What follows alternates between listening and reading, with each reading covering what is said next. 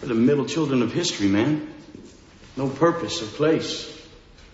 We have no great war, no great depression. Our great war is a spiritual war. Our great depression is our lives.